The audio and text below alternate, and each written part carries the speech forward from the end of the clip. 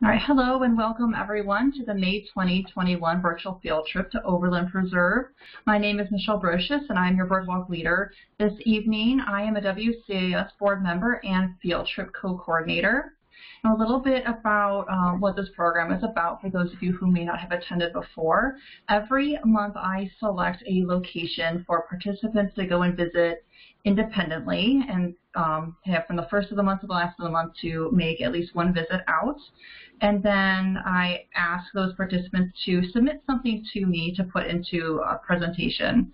Uh, usually journaling, bird lists, or photography. Um, I'm open to receiving poetry, artwork, you know, whatever um, creative thing you want to provide to me, and I, I, put that in this presentation that I'm presenting this evening. And we participants do one or the other, or the other, or both. And some people go to the preserve but don't attend the call, and some people just attend the call, and some people do both. So just however you want to enjoy this program is fine with me.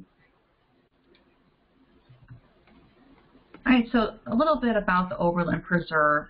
So the Land Conservancy, it's the Western Reserve Land Conservancy, recently restored approximately half of the preserve to native prairie, a rare habitat type that takes particular management strategies to remain healthy over time. With few prairie areas in the region, the property provides a unique glimpse of native grasses, shrubs, and pollinators. Since its initial restoration planting, nearly 600 native wildflower plants, more than 50 native trees, and 30 acres of prairie seed have been planted by corporate and community volunteers, as well as students from Oberlin College, um, prairie species spotted this summer include big bluestem, nodding wild rye, blazing star, rose milkweed, rattlesnake master, prairie dock, Virginia mountain mint, and cup plant. The Oberlin Preserve also includes an additional habit also includes additional habitat types such as field, woodlands, wet sedge meadow, and forested vernal pools. These habitats provide shelter, food, and nesting areas for birds, amphibians, small and large mammals, and other wildlife. The site has been host to, to scientific research and biology surveys as far back as 1888, according to records at the Cleveland Museum of Natural History. An additional point of significance for the land includes its previous owners, the Copeland family, notable black political figures around the time of the Civil War. Delilah Evans Copeland and her husband, John Copeland Sr., came to Oberlin in 1843 to protect their children from slavery. Once in Oberlin, the Copelands were very active in the abolitionist movement and fugitive slave assistance network in the 1850s through 1860s. Um, those three paragraphs are taken from the Western Reserve Land Conservancy Oberlin Preserve website. And I've included a photo of the wetland area of Oberlin Preserve Southwoods. I did not get a picture of the prairie area, um, but that is the area when you first pull in that you will see. All right, so we had uh, two target species uh, for this month, or the month of May. The first, just general target species, spring warblers. So a warbler is a small songbird in the family Parulidae, most of which sport bright colors and interesting patterns in the spring. Warblers primarily feed on insects and depend on a warm climate where their main food source can thrive. They therefore migrate to the tropics in the winter and return north in the spring as temperatures begin to rise. And I did find that the Ohio Department of Natural Resources, Division of Wildlife, has a wonderful booklet available online called Warblers of Ohio. Um, I recommend, I put the link in there um, for, you know, when, when this um, presentation is published you can go in there and click it or just search the Ohio Department of Natural Resources Division of Wildlife for Warblers of Ohio online. And it's a PDF that you can download, and it's it's really quite cool. It has all the, the warblers that come to Ohio, even some rare ones, and it, it says where you can find them and some um, hot spots around the state for finding warblers. So it's, it's a really cool book. And then a photo of a yellow rump warbler at Oberlin Preserve by Sean Missig on the right there. Our second target species, the American goldfinch. This handsome little finch, the state bird of New Jersey, Iowa, and Washington, is welcome and common at feeders where it takes primarily sunflower and nyjer. Goldfinches often flock with pine siskins and common redpolls. Spring males are brilliant yellow and shiny black with a bit of white. Females and all winter birds are more dull but identifiable by their conical bill, pointed notched tail, wing bars, and lack of streaking. During molts, they look bizarrely patchy. That was taken from the Cornell Lab of Ornithology American Goldfinch page. And a photo of an American goldfinch at, and this is at the Rocky River Nature Center by myself. Um, the American goldfinch was sighted uh, by oh, most everyone who went, um, just we didn't get a picture of it at the preserve, so using a different picture. All right, so first up is myself. I uh, tallied a total of 11 species over two visits, and I will say that in my defense, I had my kids with me both times. So I like to think that's why I didn't get as many species as I normally would. All right, so I visited Oberlin Preserve on May 23rd and 31st. I arrived at 10.30 a.m. on the 23rd with my two children, Lito, who is eight years old, and Sagan, who is six years old. I usually like to start my birding adventures a little earlier in the morning, but Sundays are pancake days for us, which takes a little longer, especially when you have kids. So with bellies full of pancakes, we arrived on a sunny mid-morning with temps already in the 80s. We donned our hats and sunscreen and stepped out of the car. The first thing about the prairie that attracted my kids were some purple irises. All three of us spent some time taking photos of the lovely flowers, and we were also thrilled to see three ruby-throated hummingbirds visiting the wildflowers as well. So there's a picture I took of an iris at the Oberlin Preserve. And two more photos of the lovely irises at Oberlin Preserve.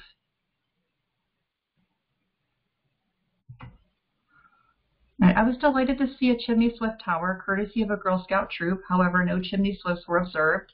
Instead, there were several tree, tree swallows buzzing around the prairie, occasionally stopping to perch on a nesting box or going inside.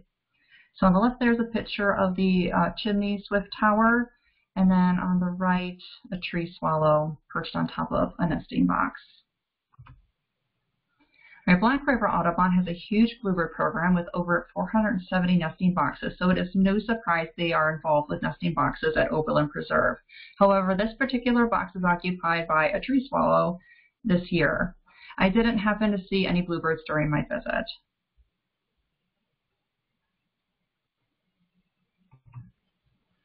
All right, here's my kids. So we started taking the trail through the prairie that's closest to the West Hamilton Street towards some new plantings. The kids enjoyed the fun items attached to some of the protective fencing. We continued our walk, and Lito was just saying that he wished we would have we would see some snakes when a snake zipped right across the trail. We had another one zip across the trail before our 36 minute visit was over. So there's Lito on the left and then Sagan on the right, both pointing out um, it looks like some sort of crocheted um, item attached to the fencing uh, on the left and this big fork. And the fork, I think, was actually helping the tree kind of stay upright on the right-hand side there. All right, so that was it for the first visit. So only Sagan accompanied me during my visit on May 31st. This time we were determined to make it to the Southwoods area of the preserve. We arrived at 9.18 a.m. and found to much relief that temps were cooler than the prior visit. Sagan managed to explore with me for 1 hour and 46 minutes. So well done, Sagan. That was a long time for a six-year-old. Um, the tree swallows were present once again, but our determination to make it to the South Woods was so great that I was only permitted to photograph an American robin on our way through the prairie. We took the trail that cuts across the prairie to the east to access the Ramsey right-of-way trail, and we walked all the way to Route 20. And so there's a, the photo of the American robin that Sagan did let me stop to take a picture of. So along the Ramsey right-of-way trail, we saw a northern cardinal gray catbird, and song sparrow. The wetland areas along the trail were especially interesting, and we paused there to enjoy the painted turtles basking in the sun. This is also where we encountered the woodpeckers. Both a red-headed woodpecker and three red-bellied woodpeckers made an appearance. So a picture I took of cardinal on the left. Oh, and then here is Sagan. Um, he's enjoying the South Woods in that left picture there. I think we had just made it to the trail. And then um, he's enjoying the wetlands at Oberlin Preserve on the right-hand side. And then here are two of the painted turtles. These are two different individuals, and the one on the right is actually a lot smaller than the one that's on the left. I think it was a younger, a younger turtle. And two pictures of the, this is the same individual, the same red-headed woodpecker. at Oberlin Preserve.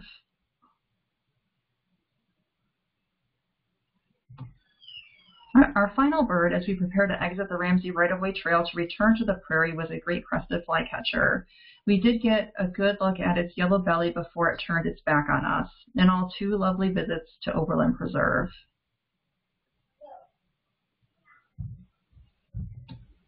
And here's my bird list. Um, notable species, ruby-throated hummingbird, red-headed woodpecker, great crested flycatcher. I did not see either target species when I went, no goldfinches, no warblers.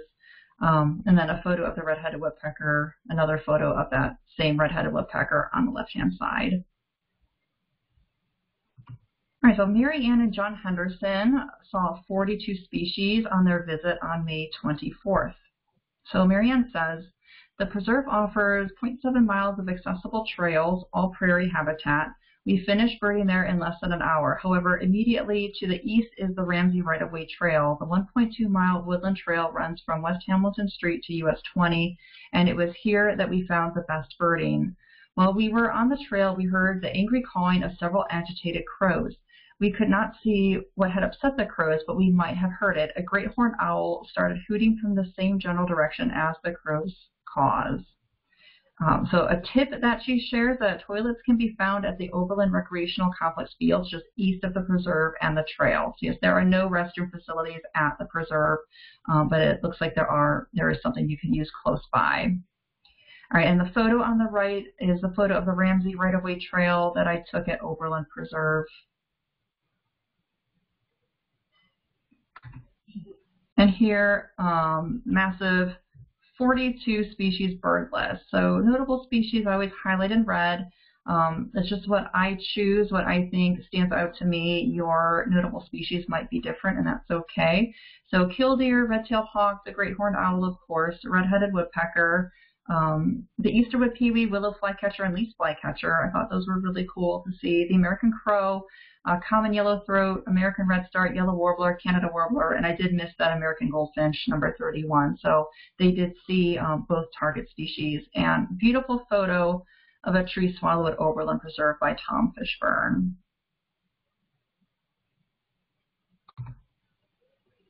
All right, Nancy, you are on the line. Would you like to cover your submission? Sure.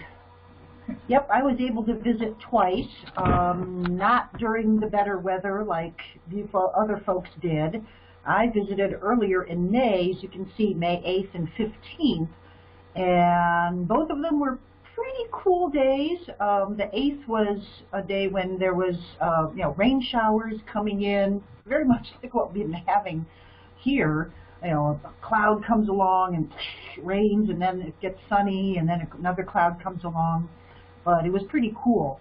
But um, May 8th was also International Migratory Bird Day, and so I thought, hmm, why not? Um, I also got a photo of the Chimney Swift Tower.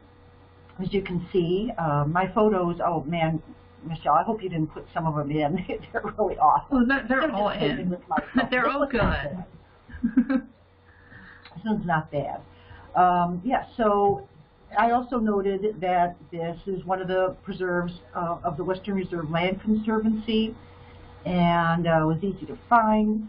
Um, the, the City of Oberlin walking trail, I guess that's called the Ramsey right away. Is that yeah, I didn't I didn't pay attention. So that's when I say the City of Oberlin walking trail, that's what I mean by that Ramsey trail. Um, and uh, the the first thing I saw, again, was that chimney swift tower, but um, it, there were tree swallows, as others had mentioned. Um, I did get eastern bluebird uh, on one of the boxes as well. And uh, I did take the, the trail through the prairie field and onto that Ramsey trail. Um, of course, the the field was super wet and not had not grown up very well, so I didn't really notice any prairie plants. And of course, prairies, as, as we might know, um, are a little bit better in the summer and into the fall when the grasses are tall and the, the wild and the flowers are tending to bloom there. So I think it would be fun to, to visit in, uh, again, a different season. So I'm going to try to do that. Um, so the first visit, the, there were lots, there was lots of water uh, in the prairie area. Killdeer and solitary sandpiper were were seen there, and then, um, but a week later, things were completely dry, so no shorebirds. Next slide, please.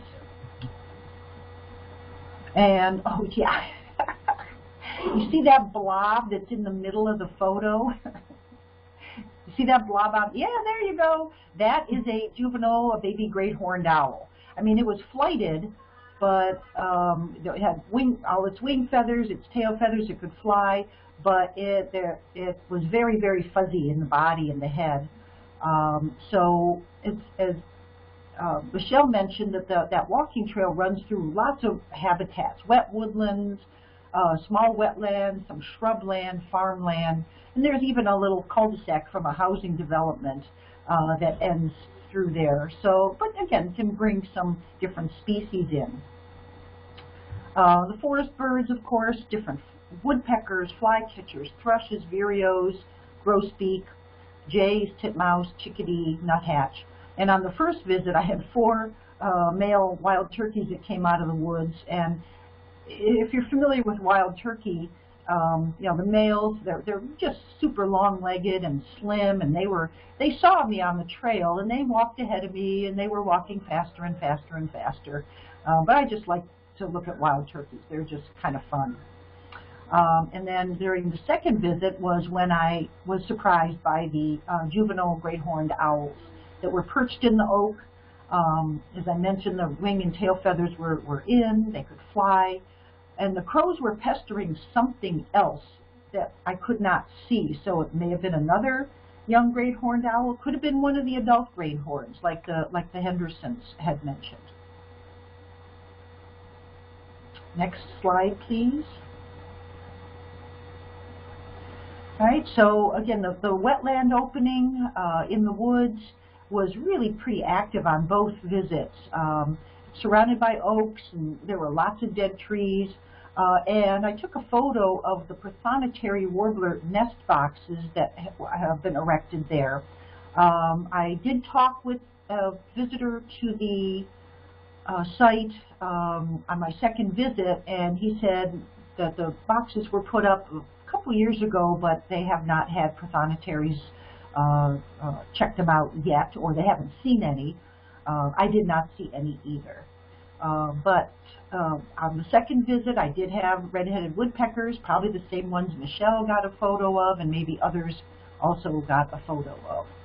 So prothonotary warblers are one of the few warblers, maybe the only warbler, that nests in in uh, cavities. So if it were a natural cavity in a, in a dead tree, and they will take two nest boxes, like you see the one uh, attached to the tree. All right, next slide, please. Uh, see, I got turtles too. So I like I like to watch turtles. Um, so warblers, they were pretty scattered on those two days. Um, so during the two visits, I had 11 species, and we'll be getting to the checklist shortly. Uh, some only May 8th, and some uh, seen on May 11th only, and a few that were seen both days. Um, what was funny, and I don't know if anybody else who tra traveled all the way to Route 20, um, there's apparently a farm with with uh, peacocks, or at least a peacock, and both times it was calling when I got to that area. So I guess I could add another species, the Indian peafowl, uh, to my list, which I did not. So, and I did feel like I was in an old Tarzan movie when the with the peacocks calling.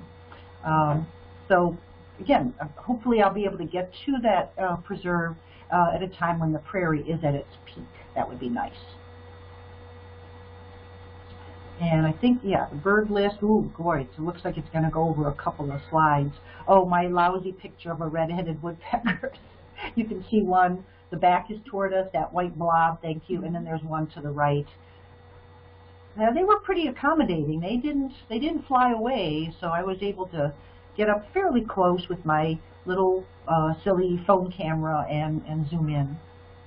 So as you can see, uh, Michelle highlighted a, a number of of birds uh, in red, the hummingbird, a couple different hawks, great horned owl, the red-headed woodpeckers, um, a lot of the same birds that the Hendersons had, the pewee, least flycatcher, uh, great crested flycatcher, a number of vireos as you see. Next slide. And um, I'm just looking to see if I, like, I, again, in the woods, the, the Swainsons and the wood thrush are always nice to hear. The northern water thrush, again, this is this was earlier in May, so this is when when uh, things like northern water thrush, ovenbird are still calling. Tennessee and Nashville warblers. Common yellowthroat are there, should be there now, as well as yellows. Um, and you can see a few other warblers. And I see that I forgot to highlight the American goldfinch. I will go back oh. in and do that. But you got that, and it was our target species. So yep. you had yep. so much, it was hard to see what you had there. Yeah, and that's a really dark photo of the ominous clouds. Uh, I really like it. I really like that photo. The, the yeah, sky is that, really that, blue, and yeah. That was on that first, that May 8th, when, you know, your shower had gone through, and then it was starting to brighten up. So it was, was cool. Thank Excellent. you. Well, thank you, Nancy. That, that that's fantastic two trips you had. Thank you for sharing all that, and that's great that you saw 74 species. So maybe I someday really, I'll really get to that level. that forest area slowly because it was okay. a little slow, and then again it picked up a little bit as, as the temperatures warmed up. But again, both those days were not exactly toasty warm. Right. Yeah, that was earlier in May, and I think yep. we had some snow maybe around uh, that time. Close, yeah. snow was Mother's yeah. Day. Yeah, that was a little before. Yeah. Yep. Okay. All right. Well, thank you. All right. So now, um, Sean has unfortunately has not been able to join us yet. He is stuck at work, so I will go ahead and cover his slides. So Sean Missig um, saw 26 species and he visited the preserve four times. The dates visited May 1st, 8th, 15th, and 30th. He says, when I first arrived to the Oberlin Preserve, I was wondering if I was in the right place. The parking lot was small and all I saw was an open field that wasn't fully grown in, but did have paths cut into it. After I parked, I was relieved to find a map near the parking area. There was a lot more to this place than I could see from the parking area, and I was indeed in the right place. After studying the map, I decided I was going to check out the wetland areas and started to make my way to the path. The first birds I noticed were tree swallows that were carving their way through the air and occupying the bird boxes that had been set up. These birds are a lot of fun to watch when they fly, so I didn't mind starting my trip with about 10 minutes of their aerial stunts. As I continued along the path, there wasn't much else going on. I made my way over to a service road and began, I think he's talking about, you know, the Ramsey Trail, and began walking along the path instead. The first uh, birds that showed up here were a couple of northern flicker. I saw two females that were quite active in jumping around from branch to branch while making calls. There was no male in sight, but I did hear calls from a distance. Hopefully I would find the male as I made my way further down the trail. There's a picture of the female northern flicker at Oberlin Preserve. How you can tell that it's a female is uh, a male would have a black uh, mark right here um, that that's called a mustache. All right, so two more females um, at Oberlin Preserve by Sean Missig. I think that the one on the left is the same as the one on the previous page, and I'm not sure if this one on the right is the, the second female he mentioned or if that's still the same one. All right, the next point of interest was near the housing development. As I neared the opening, a male house finch landed in a small tree nearby and stuck out like a sore thumb. I continued my journey and made it to the wetland. Here I found many turtles basking in the sun on logs and fallen trees in the water. I also noted several red-headed woodpeckers hanging around a couple of dead trees. Sometimes they appeared to be fighting, and others they all got along. I had ventured past the wetlands on this trip, but did not see anything. On my way back, I finally found the male northern flicker. He was hiding high up on a tree toward the back of the wetland, and if he wasn't making calls, I probably would have missed him. As I continued back, I saw many of the resident birds, including cardinal, blue jay, white-breasted nuthatch, song sparrow, and mourning dove. It wasn't until I found my way back to the path in the field that I noticed 15 turkey vultures were now circling over parts of the field and the wooded areas near areas nearby. Definitely a great way to end the day. So there's a picture of the house finch at Oberlin Preserve by Sean Missig on the left. And then he mentioned red-headed woodpeckers, so there are two of his red-headed woodpecker photos at Oberlin Preserve. Another red-headed woodpecker on the left, and then the male northern flicker on the right at Oberlin Preserve. And you can kind of see there that, that black mark indicating that that's a male. All right, photos of a northern cardinal on the left and song sparrow on the right at Oberlin Preserve.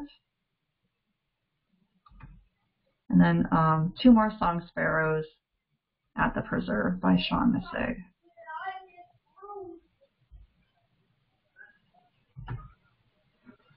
All right, he says, on my second trip on uh, 5-8, the landscape had already changed. What a difference a week made. The field had started to grow in and more flowers were blooming. This gave me a great excuse to use my macro lens. As I was walking along the service road again, I noticed a spider was laying in the middle of a flower and took a few shots. This spider didn't have a care in the world and just stayed in place when I took pictures and as the flowers swayed in the wind. As I took pictures and as the flowers swayed in the wind. The area by the housing development was full of life again. This time I spotted Baltimore Orioles in the trees and flying in and out of the area. Their vibrant orange color really stood out and was beautiful and was a beautiful addition to this trip. After I made my way across the cul-de-sac, there was a small area on the left that had heavy cover and water. There were many birds and chipmunks using the area for drinking and bathing. I was watching closely and then I saw a yellow-rumped warbler land on a branch. This bird was not sitting still, but I focused in and held the shutter button down. Thankfully, I was able to get a few shots before it flew away. The photo on the right of the spider on the flower at Oberlin Preserve. And here are two pictures of the Baltimore, Baltimore Oriole at Oberlin Preserve by Sean Missig. Looks really nice against that brilliant blue sky. And then two photos of the yellow-rumped warbler at Oberlin Preserve.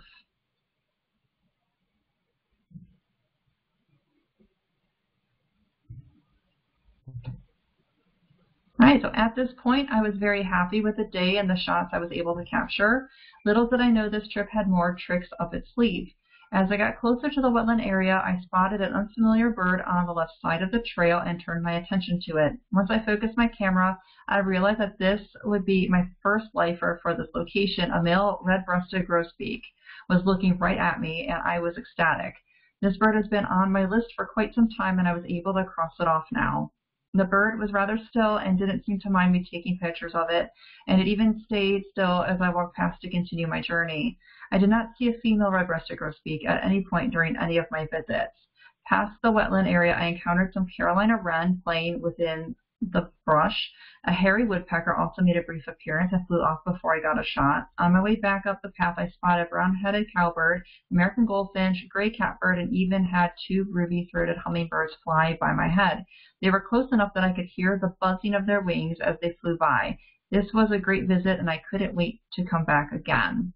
So that beautiful picture on the left there um, of the red-breasted grosbeak at Oberlin Preserve by Sean Missig. And of course, I've given him uh, his Lifer Award. I think it's been a couple months since I've been able to give one of those out. So congratulations, Sean.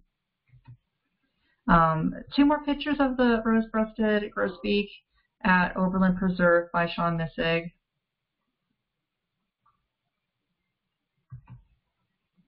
All right. The visit on 515 was very familiar, or sorry, was very similar to the previous two, with the only new species to add being a white-crowned sparrow, Canada goose, and a flyover from a great blue heron. Again, I spent the majority of my time near the wetland and cul-de-sac areas. Uh, my final trip on 530 was one that I wasn't sure if I was going to make or not. I already had a lot of pictures and data on the location, but I decided that I was going to make one last trip no matter what and started my day there. After I arrived, the clouds broke up and the sun started to shine. This was the break I had been hoping for since the day before was nothing but cold and gloomy skies. With the sun now warming everything, the path came to life. This time it brought out many different species of dragonflies and damselflies. I have always loved the unique colors of dragonflies and damselflies since I was young, and this day really brought out the kid in me. So, um, and, and he identified these. I'm not a big, um, I, I, I do enjoy dragonflies and damselflies, but I am not knowledgeable about species identification for them. Uh, so he identified this one as an eastern pond hawk um, that he took at Oberlin Preserve. And then he provided uh, this Wikipedia definition. I, you know, I do have a field guide of dragonflies and damselflies um, published by the Cleveland Museum of Natural History. Um, I still, it, it, it's massive, and I, I, didn't want to try and, and figure out what these were. um, but I did look in that field guide for a definition as well. Uh, so I'm not always a big fan of Wikipedia. It's not always 100% accurate. But then looking at this definition that Sean provided from Wikipedia, it is accurate. I I, compared it to the information in the field guide, and this is more succinct. So I, I let Sean keep it in here. So I'm going to read it. A dragonfly is an insect belonging to the order Odonata, uh, infraorder Anisoptera. Um, from Greek meaning unequal and wing. I'm not going to I don't know how to read the Greek writing, so I won't even try. Um, Uh, because the, the hind wing is broader than the forewing. Adult dragonflies are characterized by large, multifaceted eyes, two pairs of strong, transparent wings, sometimes with colored patches, and an elongated body. Dragonflies can be mistaken for the related group damselflies, Zygoptera, uh, which are similar in structure, though usually lighter in build. However, the wings of most dragonflies are held flat and away from the body, while damselflies hold their wings folded at rest along or above the abdomen. Um, and so you can tell this right here is a, a dragonfly. Its wings are spread out. Um, this is the long-tailed skimmer, according to Sean, uh, that he took at the Oberlin Preserve. And then on this next page, a dragonfly and a damselfly side by side. So as you can see, you know, the, the wings are held out and it's a big body, and then the damselfly, uh, very narrow, thin body, and the wings are tucked back behind it. Um, this one the, on the left, identified as a painted skimmer, uh, just labeled as a damselfly on the right. SP question mark means we don't have a species identification. Um, both photos taken at Oberlin Preserve. All right, after I spent some time chasing these creatures around, I made my way to the wetland area for a final visit. This would prove to be the best visit yet. When I arrived at the wetland, I spotted a bird sitting on a branch by itself. It looked like an eastern kingbird or eastern phoebe based on the shape and lack of color, but I was too far away to make that call. So I took a few shots anyways. As always, this paid off. After I cropped in on the bird, lifted the shadows, and brought out some of the color, this turned out to be a great crested flycatcher, my second lifer from Oberlin Preserve. After these shots, I had spotted a red bird off in the distance that I thought was a cardinal. As I got closer, this bird looked way too bright to be a cardinal, and I was correct. This was a scarlet tanager and my third lifer at the Oberlin Preserve. The scarlet tanager is another bird that has been on my list of photographs since I started photographing nature in 2020, and I can proudly cross this one off the list as well. On the walk back through the wetlands, I was finally able to get pictures of a hummingbird as it rested on the top of a dead tree. I couldn't think of a better way to end this trip. So congratulations again to Sean for his second lifer. Great crested flycatcher at Oberlin Preserve on the left-hand side there. And then um, pictures of his lifer Scarlet Tanager at Oberlin Preserve.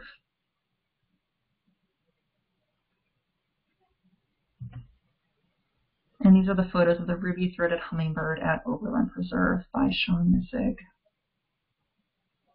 perched on top of that dead tree. And here is his bird list. Notable species, Carolina wren, Baltimore oriole, yellow-rumped warbler, um, uh, lifer for the rose-breasted grosbeak. American goldfinch was a target species. Ruby-throated hummingbird. Um, and then uh, two more lifers, the scarlet tanager and the great crested flycatcher.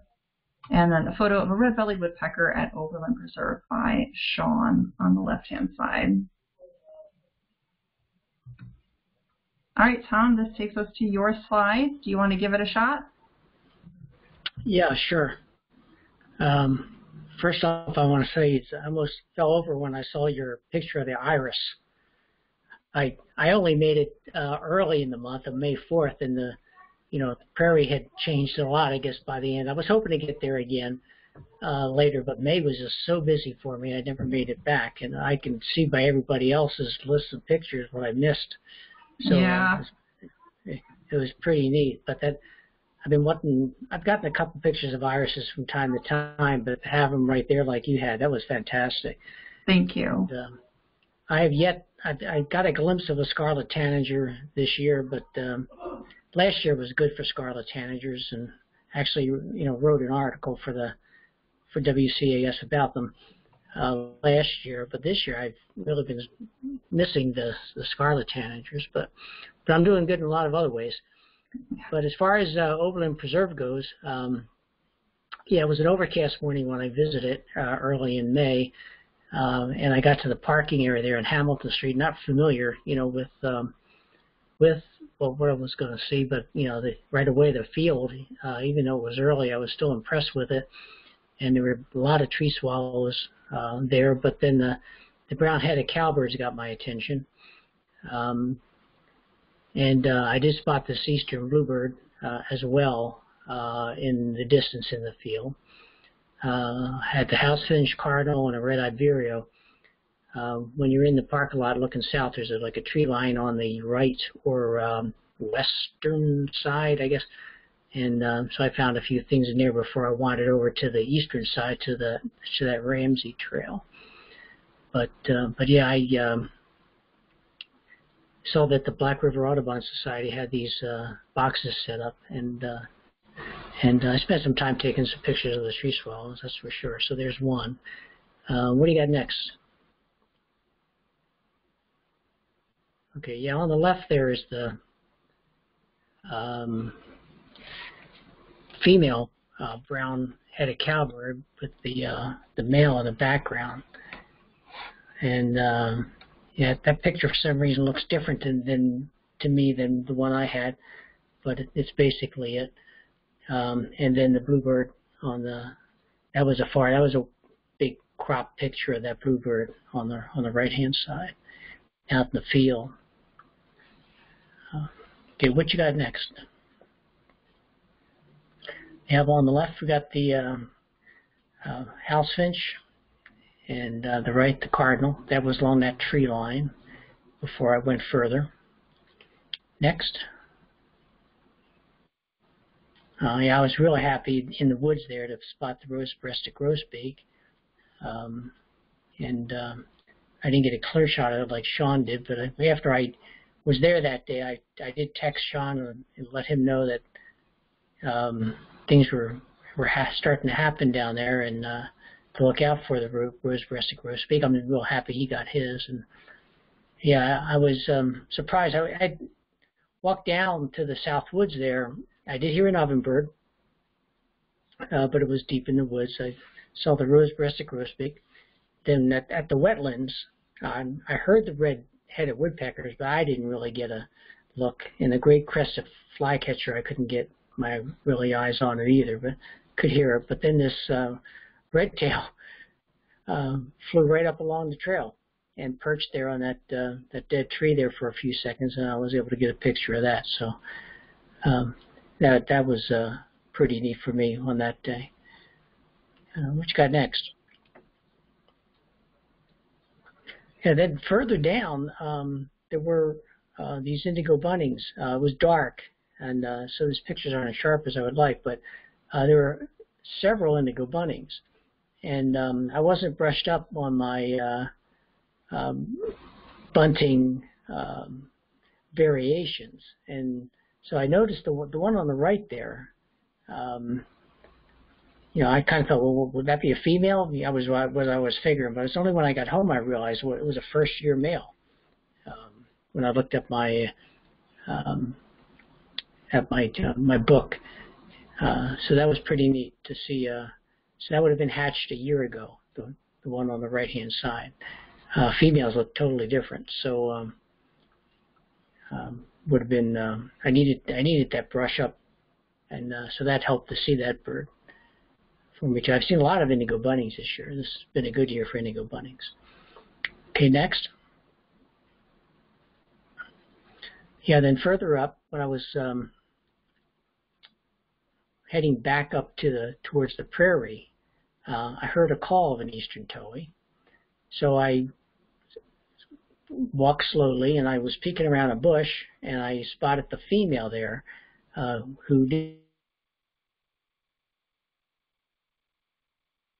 didn't stay very long at all, um, and it was, it was low, and it, it um, uh, took off, and I saw two birds fly, but they disappeared into more of the brush, and then um, I saw both of them fly across the trail, um, low, as they often are. I mean, I've seen them. I've seen them perch up as well and singing, but these birds weren't doing that. These birds are foraging, and so I just kind of watched and see. And they were in the woods there for a while, and then they came out. And so, like this uh, male towhee, I was able to get. He was right on the ground there, and uh, wasn't it getting any um, great views. This was getting pretty close up to Hamilton Street, and so eventually the, the two birds took off, and they they actually flew across Hamilton Street to the other side that was I was happy to see. I'm always happy to see towhees.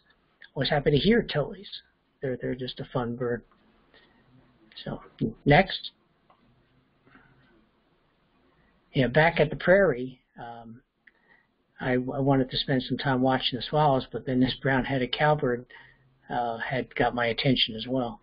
And um, actually, I saw some brown-headed cowbirds back um, along the south was around where that um, cul-de-sac is for Reserve Way, and and um, I saw the, the these cat cowbirds doing this kind of thing. They would just perch there, and they would spread out their wings and fluff up their feathers, and and so when I got to see this bird, I said I got to take some pictures of this bird, and so that was that was a fun um, experience too, watching this guy. Next. And the swallows, you know, they were um, coming and going off the off the um, the boxes there. And uh, I was thinking I if I got back there, I would spend more time trying to get some pictures of these swallows. But I didn't make it back. But uh, they're always fun to, to see. And uh, but they're blue and uh, how act just how active they are. Okay, next. Okay, a few more. Yeah, I got a chickadee and catbirds and um, catbirds are the noisiest things. I don't know why they hide so much when they make so much noise. But um, and then um, yeah, I saw a couple orioles, and here's one of the orioles that and that was down where it was mentioned too that um, around down by that cul-de-sac area um, where uh, where I got that Baltimore oriole. Next, if any left. Uh, Nope. And then yeah, way up by Ham- Hamilton Street. Yeah, that's um. I caught that one in that overcast sky, but at least I got it. I'm trying to figure out what kind of tree that is. That's an odd-looking tree. Um, Yeah, I thought it was big. really interesting picture. I, I love how that's framed. Um, and it's okay that it was high up and it's small because, like you said, the tree is really interesting. It's it's just a great picture overall. Yeah, It's a cottonwood. I, I, Oh, Cottonwood. Thank you, Nancy. that that's a cottonwood. Yep. My goodness. I put it up on iNaturalist and they didn't identify it as such. And I'd um, I had intended actually if I made it back to take better pictures of that tree to figure it out. Interesting. All right. Well, thank you, Tom. And I just want to say a big thank you to everyone who participated, Marianne and John Henderson, Nancy Howell, Sean Missig, and Tom Fishburne, and Western Reserve Land Conservancy for providing us with Oberlin Preserve. I've uh, put the address to the parking area over Oberlin Preserve uh, right there. I, I plugged it into my GPS and found it just fine. Uh, please visit wcaudubon.org for more virtual field trip opportunities. This month, the month of June, I'm inviting all of you to visit uh, the Cuyahoga Valley National Park. Uh, two suggested sites that I have, Beaver Marsh and Station Road, but you can go anywhere you want within the park um, if you have any favorite sites or, or places that you've heard of that you want to explore. I've already made my visit to Beaver Marsh, hoping I'll get back out, but I'm not sure if I'll be able to get down there again. So um, with that, I would like to open uh, the call up to discussion. Um, so if anyone has anything they would like to say or any questions, uh, please feel free to do so now.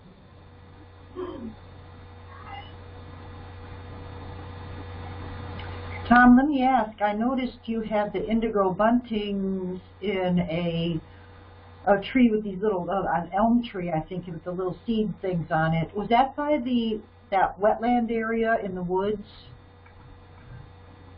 You know, there you go.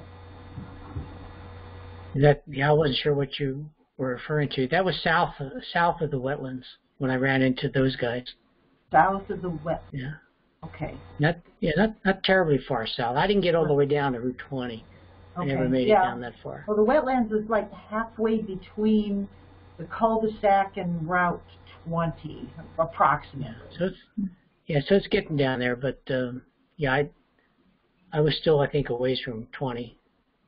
Yeah, because on the Like first visit, I, yeah, on the first visit I had um, purple finches, a lot of purple finches feeding on those same seeds, uh, the the elm seeds. Ah, So my goodness, yeah, that that was that was like a surprise for me. Not a lifer though. yeah. Notice I don't get any lifers. How come? I don't know. you didn't get a whitetail a whitetail kite this year? Did you ever get Uh, a whitetail no, kite? no, I haven't. I haven't traveled. I don't know. Maybe I'll. Uh, I was thinking about trying this weekend as I'm heading down to West Virginia, but I think it's in a slightly different place from the way I go. So what was the An- Anhinga at Lake Isaac a lifer for you, or have you seen one of those before? yeah. Let me think. Yes, it was a, an, a lifer for me. Yep. Well, fantastic. As so you well do as still the- get them. Well, as well as the um, that sparrow that was at uh, oh shoot, the Brewers sparrow Oh, yeah. that was at Wendy Park. There you go. Yeah. Oh, I just Yeah, want to say, that one. Tom, these pictures of the brown-headed cowbird are fantastic. I, it, it's so beautiful. It makes me forget that it's a brood parasite and that I don't like them for that reason. Yeah. Uh, but it's you know it's what it is. You know it, that's you know how it evolved to survive and reproduce. So, um, but, you know you, you feel sorry for the poor little warblers that it it lays its eggs in its nest. But yeah, Well, and- beautiful photos. And a lot of people don't take photos of birds they don't like or common Mhm. species. I know, Michelle, you've taken photos of house uh, sparrows. Mm-hmm. I love these photos of the cowbird. And that other Yeah. photo of the female cowbird with the male in the background that was kind of, oh, I, I think that's like, I love it. I mean, Yeah. it's so cool. I don't know why. It's just, but it's just like there they are, right there. Shows And us- Tom, Yeah, you said that you didn't like recognize this photo. I'll go back and make sure that it, it didn't come over in a weird way when I imported it. Um, but Yeah, I recognize it. It's just that it, the back, the background there, it's it's it, it, it something's different about it. It- hmm, like okay. It's not quite as uh, like my Yeah. original anyway. I'll re-download it and put it in and see if that makes it makes a difference. I'll do that after this call. Some, something apparently happened. Yeah, Yeah. Okay. but yeah, there's again those purple finches. I I rarely see purple finches. So I had a lot fair. of purple finches. I had a lot of purple finches this year, and not as many indigo buntings. So ah, how about that? I have yet to see an indigo indigo bunting this year, so that's still on my year list. Yeah. there's Yeah. one. Learn, Yeah. learn the sa- you got you got to learn the sounds because you, you hear them a lot Mhm. more than you see them. That's Yeah. for sure. Oh, okay. Yeah. That's definitely a skill I need to develop. And I Yeah. love this. you I love I love the the tree swallows just with their wings and so really cute, playful Yeah. pictures here. Well, see, see, something happened with these too. Those when when you brought these over, um, the background to those pictures that, that I'm seeing anyway on my computer um, doesn't look the same as my originals. Okay. But um, but the birds, the birds look okay. It's more more like the background. All right, and, I'll go. uh, I'll go through and check. I don't. Maybe it's the way that it's just appearing through um, the conference call system, but I'll check and make sure that they match. Yeah, that that could be too. Yeah. Yeah. But uh, I want you to be happy. I want you to be happy with how Why- your photos. oh, it's so. oh, it's quite right. But it, like like what you're saying though, it's just it's really neat to see these birds, you know, kind of flying with the wings open and action and that kind of thing. It's it's, it's they're nifty birds. I, I don't get tired of, of photographing tree swallows. That's for sure. hmm But um, I'd love to go back to that prairie again. But my my sights are on the Cuyahoga Valley these days. Dude, I How many? Uh, uh, did you get there today? just for the first time in June. Okay. I I spent time there. I spent time there in May. Mm. I have a particular interest um, in the Kendall Hill section, Kendall Lake section. Oh yeah. Okay. Uh, when I when I learned uh, that um, the prairie warblers are there, and um, so they were there today too. oh, fantastic. And blue wing warbler. I even got a hooded warbler today. Okay. Very cool. Got my yeah. Got some butterflies and dragonflies. What's the target species for the Cuyahoga Valley? So um, I, I picked a few different, depending on you know what site you're going to. But wood duck, you know, is is the first target species. So if you're going to Beaver Marsh, you know, I, I went there and I saw two separate families of wood duck. Um, then also orioles and tanagers. Those are so three target species. We usually don't have that many, but Well, the Orioles are going gangbusters along the Beaver Marsh area. Oh, really? I did. I went. I didn't see a single oriole. Oh, I just. geez. I only Oh, got the goodness. duck. I know. I, I, um, I, I didn't have my kids with me that time, so I can't blame it on them. yeah, there's a nest of orchard orioles, and it's about at eye level. Uh, it's at the south end of the marsh, and it's in a little tree that's overhanging the the wet area, uh, kind of the canally area, and you, Okay. the birds were just moving that- around. That's on the canal side. Yeah. Yeah, And is the just, is just the south, tree? just, just south of the Beaver Marsh, uh, the the the boardwalk. Yeah. step off the boardwalk, the south end, and there's a small tree that's kind of overhanging the the wet like the wet area, and it's maybe eight feet, eight foot tall tree, but you stand there and it's just the nest is Uh. about at eye level. You know, it's it's interesting because every time I go, I'm looking for orchard orioles there because I rarely see orchard orioles. Um, but I was there in May, and I did get to see an orchard oriole, but it was a little distant. It was across the canal, Hmm. um, and uh, but I've heard that they're they're there, and so thank you. That's great. That's a great tip. Yeah, some years they're scarce, and other years, like this year, it's it's a it's a super orchard or super oriole There's also a kingbird nest um, there as well. So there are kingbirds flying around. I got some good pictures of a kingbird. Um, Did you see their nest? I saw the nest. I never would have found it if I, I met someone who you know who had a camera. and Just asked me if I had seen anything that day, and he knew of it, so he took me back and showed it to me. Oh, cool. Oh, good. Um, yeah, uh, it's it's it's just high up in a tree, and there's lots of trees there, so you kind of have to look look for it. Um, and then there's tree swallows, and the tree swallows have a nest in a tree there. I don't know if I've ever seen like a natural tree swallow nest. Usually, I just see them in the bluebird boxes, so that was kind of cool to see. And then lots of red-winged blackbirds. What's that? Is the tree swallow is the tree swallow uh, cav- cavity that's all facing the boardwalk or facing the other way? It's facing away from the board. So if you go, if you're on the boardwalk and there's this area that's that kind of juts out, yeah. So it's Yeah, this I've area that. it. Okay, cool. Yeah, that's what I was wondering. Yeah, except it's kind of tough because it was on the opposite side. Yeah. Yeah, but if you go to that like um, overlook area, that part of the boardwalk that kind of juts out, and you you turn to the left, you're it's the Hmm. hole is right there, and you can kind of catch them as they're coming. I, they were too quick for me, but you know maybe you, Right. you you're a little more experienced, maybe you can get them. I Yeah, that's sounds like the same one I saw a month ago Mhm. or so. You get on the top rung of the rail, you lean way over, you turn your body, while your legs are wrapped around that, yeah. And then I- you hear a I splash. used- there was a time. there was a time when I was younger. I would wrap my legs and bend. yeah, Those days are over. that's funny. All right. So, um, any last thoughts or comments before we wrap up today's virtual field trip? All right. Great Well, fun thank, as usual. thank you. Nice here, nice seeing the list and what people found, and always good. All right. Thank you, Nancy. Variety.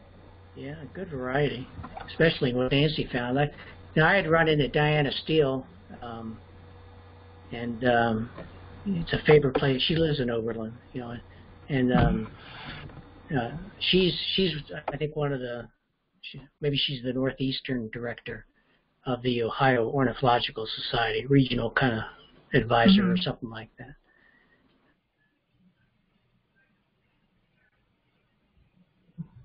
But um, yeah, she was happy to hear that Western Cuyahoga chose chose Oberlin Preserve. Yeah. Yeah. And, uh, Absolutely.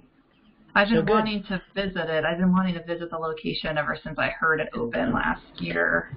So this is the perfect opportunity. I know they have plans for uh, more trails. Um, they do want to put in a an underground railroad garden uh, at Hmm. some point. Uh, those I saw on a plan from the Western Reserve Land Conservancy. So again, it's still fairly new, and um, so Yeah.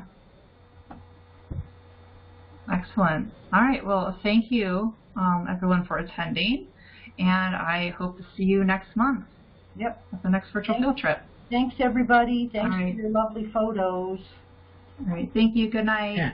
Good Have a good night.